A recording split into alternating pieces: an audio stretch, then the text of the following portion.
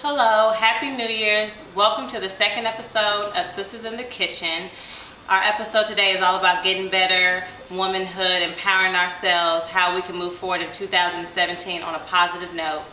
Today we are going to be making sub sandwiches and bacon cheddar fries. Hope you guys enjoy when you make them at home. It's a fun, easy Super Bowl party. Whenever you're having a party, a little small get together and you want to feed, even when you just want to come home quick and feed your family, a nice homemade sandwich can do wonders. So watch and enjoy. Make sure you guys like, follow, comment, Follow us on Facebook, Sistahs in the Kitchen. Instagram, follow us on Instagram, follow us on Snapchat, Crystal Johnson, Mrs. J, your host. We're going to be making sub sandwiches and bacon cheddar fries. Our discussion drink of today is going to be an apple raspberry shot. Go ahead and make all five of them. You can put as much as you want. And we're going to top it off with raspberry. 1800 margarita.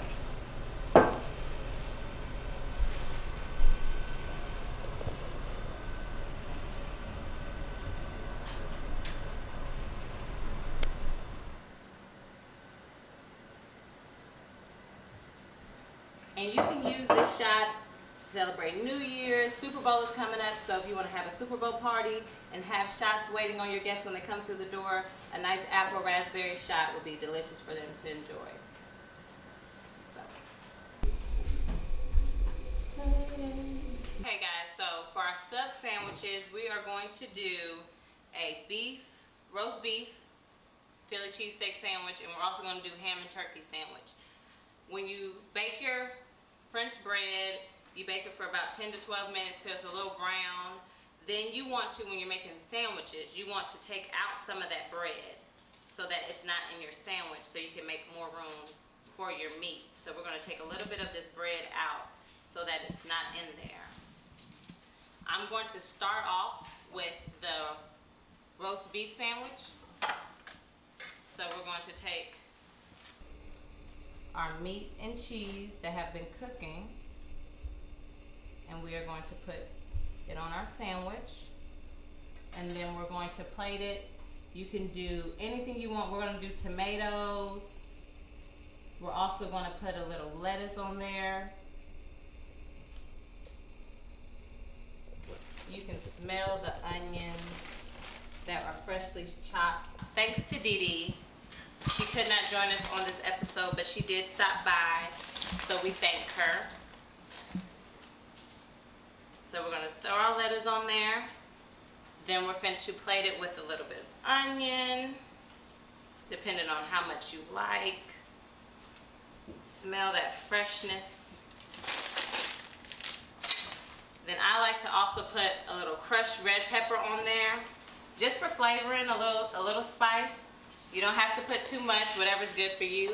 I also like to put just a little bit of Italian seasoning on there. Just for flavor. I do it for both of my sandwiches. You know, throw a little olive oil on top.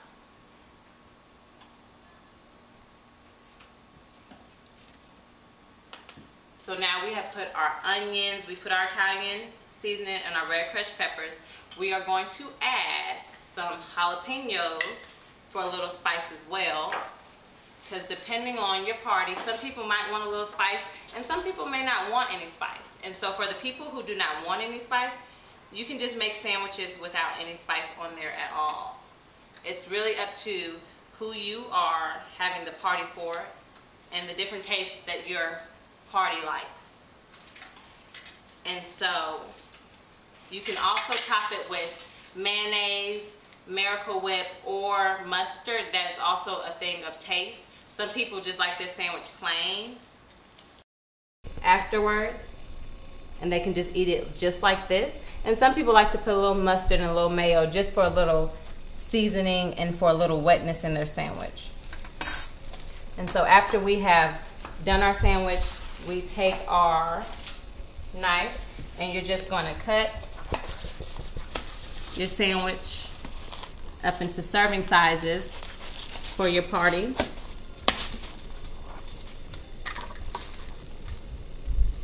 And you can plate them this way.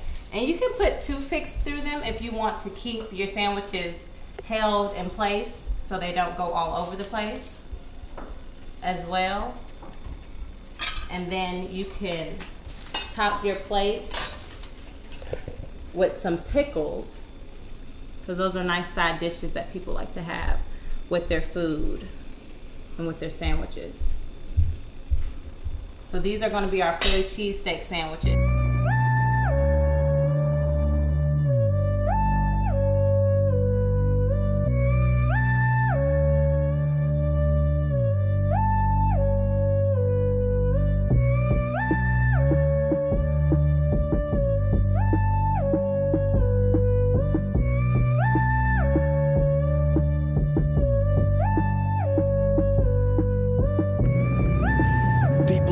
Tell you that they better, but they failures in their own eyes. Never let them sell you on no. Okay guys, so we have made sub sandwiches, one with the roast beef and provolone cheese, basically a Philly cheesesteak sandwich, and then we have also made a ham, turkey, and bacon sandwich for you guys to enjoy.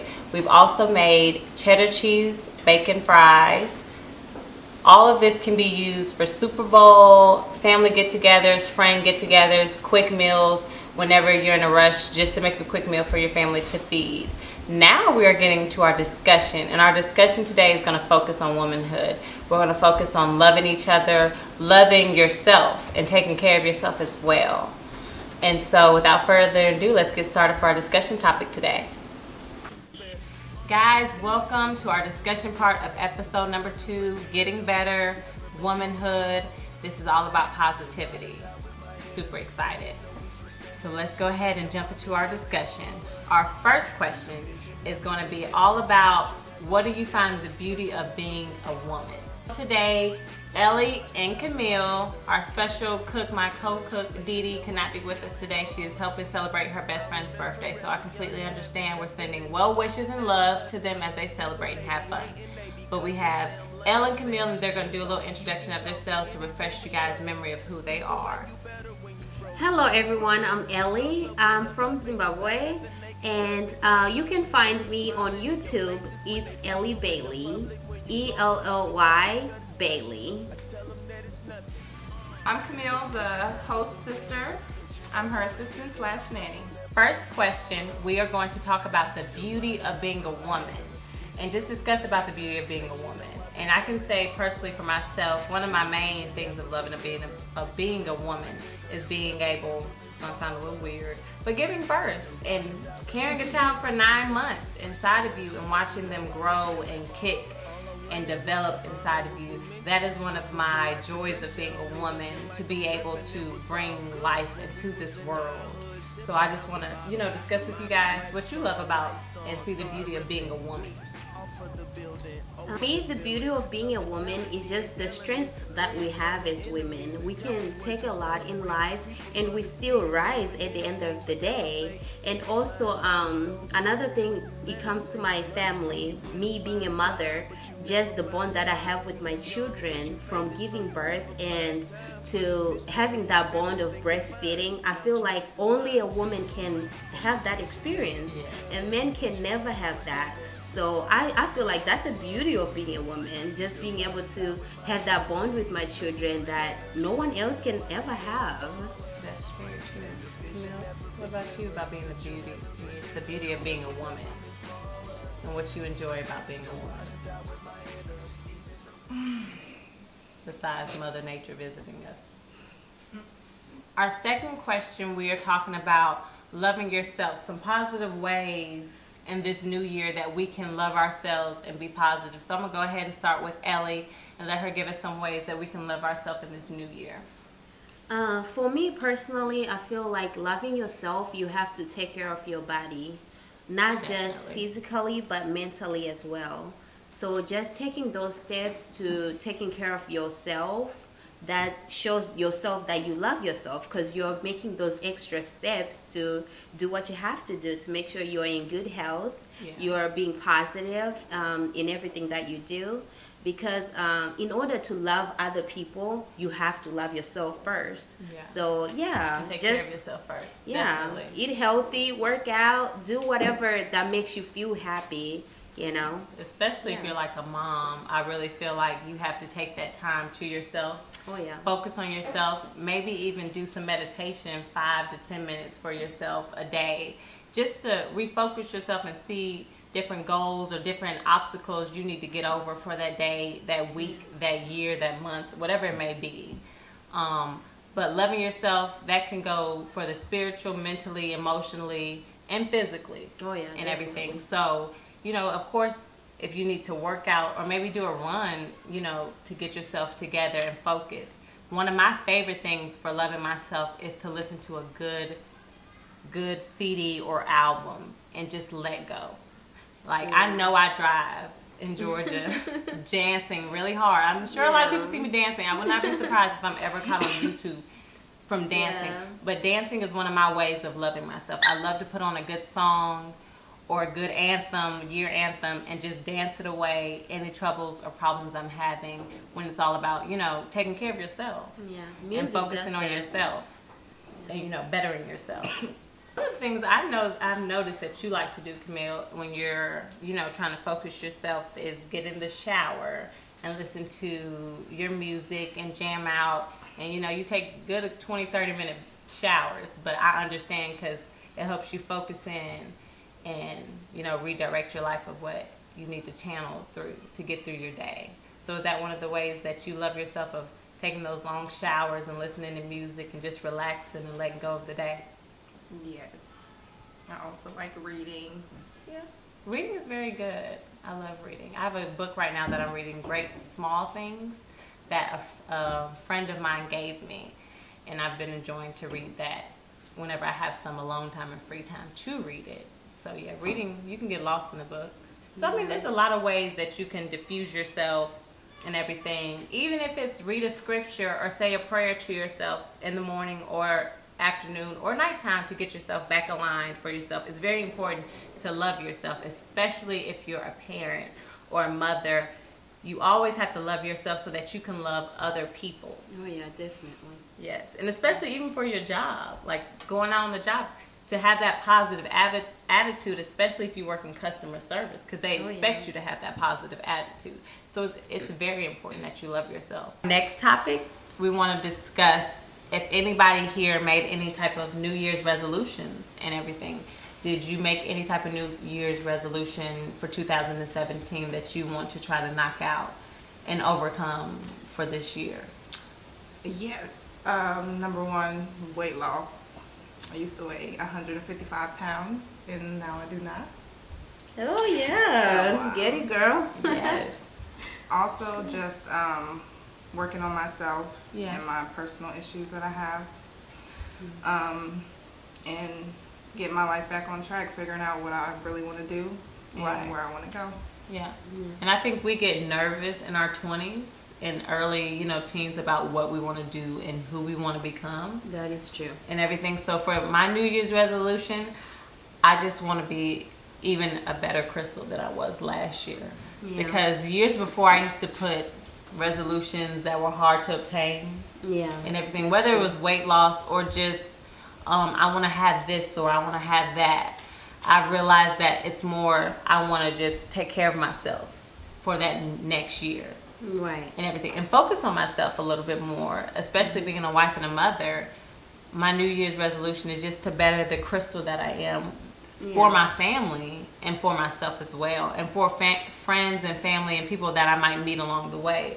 Always want to be a better me, always want to improve, and I think we can sometimes get wrapped up in our 20s like life is already over, you know, or like we're already at the finish line. It's like we're really just getting started. that's true So I'm trying not to have such a heavy weight on myself for my New Year's resolution because I'm realizing that we're going through life yeah and it's not good to put such standards on yourself right yeah and everything, trying to be this perfect person. I'd rather just enjoy the flawed Crystal that I am and just improve that flawed Crystal that is Yeah. already here because I'm always going to have flaws. that's true So, Yeah. what is your take on like New Year's resolution and did you have any New Year's resolutions? No, I do not have any. and the reason why is because in the past, I've always made New Year's resolutions, Right. but by the end of the year, I would look at my list and be like, "Oh my gosh, Yes. I only achieved like a couple of things on this list." So with that, um, I have decided to have goals I that. I hope to achieve this year, but. I'm not giving myself that hype and stress of like, "Oh my gosh, I have to achieve this this year," to, you know. yes. So no, I don't have any. And I like that. I definitely think that we get sometimes in society to focus on New Year's resolutions, and then Oh, Yeah. that can cause even depression because we haven't met our New Year's resolution, so we That's feel like true. we're not doing good enough in life.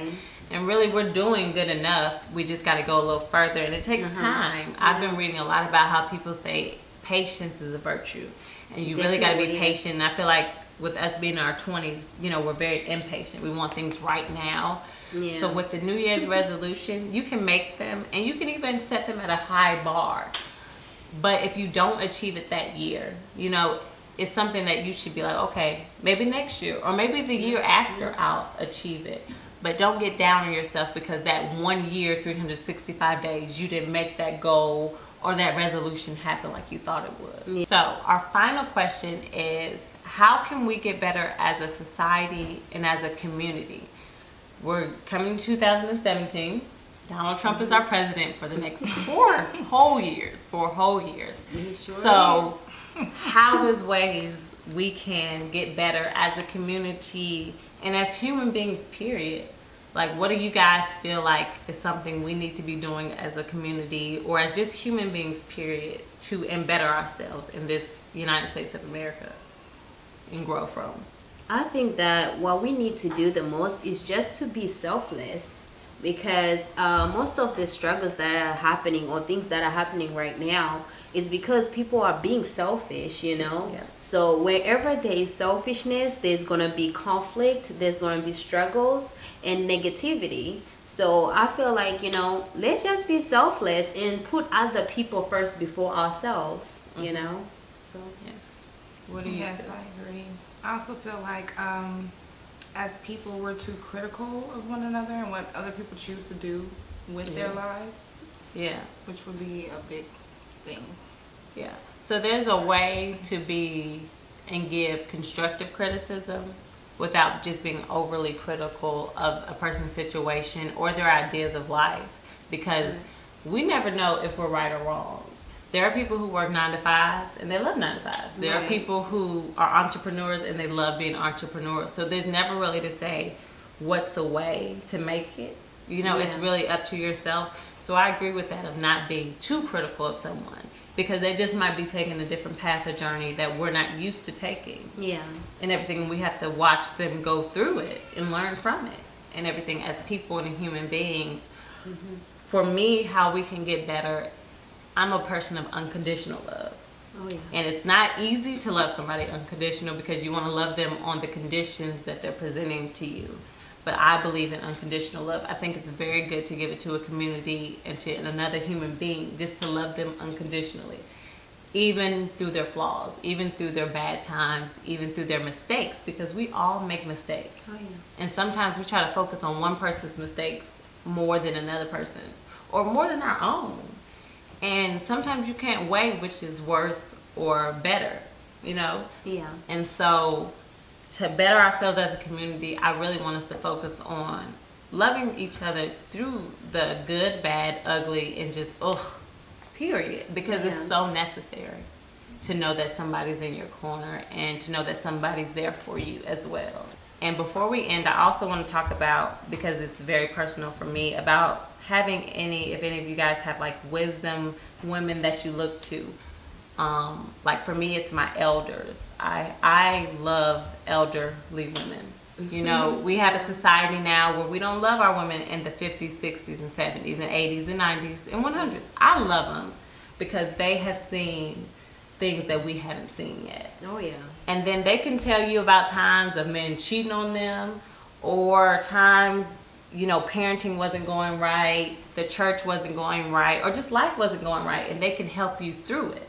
And you sometimes can think that your elders might not know, but they really They do know. know. Like Yeah. they know so much. So I as with this episode focusing on womanhood, I think it's so important for women to reach out to your elders in a positive way and take what they say in a positive way because they've seen life and they've been through life. Right. Oh, yeah. And it's so important, you know, to reach out to them and to take it in. I love to take it in because Yeah. that wisdom to me is it's priceless. Oh, yeah. You can't even put a price It on the wisdom that they already know of life that you haven't even went through yet. Yeah. Because you know, in our 20s, we feel like this is it.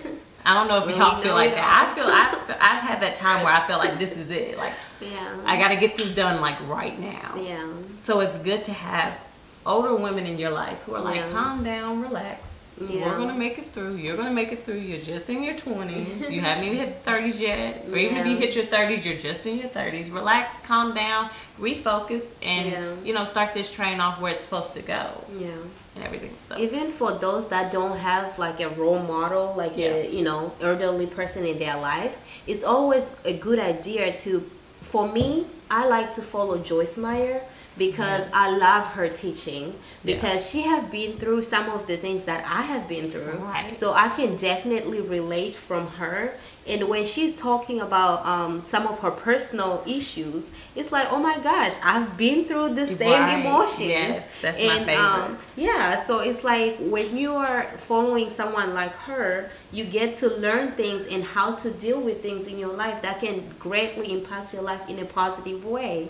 So you don't always have to have somebody who's, you know, right there, somebody you know. It can That's be true. anybody, but Yeah. you know, just make sure that person is a positive role model. That don't just follow somebody because they are a popular or a celebrity. No, follow somebody you want your life to um that's gonna impact your life in a positive way. um, while we're closing our discussion, do you guys have anything else that you would like to share on womanhood? Because for me, it's a very important topic to talk about womanhood because it seemed like in our society today, we're all combative and fighting each other, arguing with each other, comparing ourselves to each other. Yeah. You know, who's the better woman, whether it's black and white or just black versus black. You know, we're in this comparison thing instead of an empowerment type of movement. Um, for me, as a woman, I feel very, very much that you have to love yourself. Because if you do not love yourself, you cannot love somebody else. And our children rely on us, our husbands, our boyfriends, the men in our lives, they rely on us. So we have to make sure that we are in a positive mind, you know, mind space and loving ourselves for us to be able to love them. And um, also just, you know, as a woman, value yourself, know your worth, and make sure you're not taking, important. yeah, don't take anything less than you deserve from anybody. You you have to know your value. Yeah. So Camille, do you have any last remarks you want to leave with our womanhood and empowerment little topic that we're on today? Um, I just think as women, we should always actively support each other because so often you get more support from strangers than you do from people you know. Right. And women, we always gossip about each other, and I just think everyone should support people and women and what we do Yeah. and different things. And that's it. So we want to thank you guys for tuning in for episode number two. We are getting better. This is the title of our episode, Getting Better. Oh, you Oh, yeah. guys stay tuned. Give us your likes, feedback, comments. Follow us on Facebook. Like our page, Sistahs in the Kitchen. We thank you guys for tuning in to episode number two, and we guys are getting ready for our final thoughts today. I'm about to bring it to you, Mrs. J, so stay tuned for that as well. Thank you for tuning in. Okay, guys, this is Mrs. J here to deliver the final thoughts from Sistahs in the Kitchen. And we have been talking about womanhood today. So, my final thoughts, most definitely, about 2017. Make yourself some goals. You don't have to make them super high to achieve them. Make believable goals. No goals that you know you can achieve. Write them down. Get them ready because this is a new year, 2017, and let's be more positive, more loving, more giving as people and as human beings and as family members to each other. Let's also, as women, work on banding together, being together in a positive way to better our communities, better our families, better our own personal selves. So, this is a new year, a new time to look at yourself and decide what you need to do to improve yourself and improve improve people around you and stay and to stay happy even through obstacles that you're going to face because I'm not going to act like 2017 is just going to be perfect because we don't know. We just started. But let's try to be positive through all of the obstacles that we're going to face because we're going to face obstacles, we're going to face storms and tribulations, but we have to overcome them and we have to learn from them and grow from them. So let's do that and let's continue to be better and take what we learned from 2016 and transfer to 2017 and get better and get ready for the next year that's going to come because it's always going to just come year after year. So let's continue to build and continue to grow from where we're at right now. We thank you guys for tuning in for episode number two where we're getting better. I hope you guys enjoyed this episode. We have put a lot of love, work, and patience and and just virtue and growth and trying to build you guys a strong episode and a strong Sistahs in the Kitchen for you guys to enjoy. Thank you guys for tuning in to Sistahs in the Kitchen.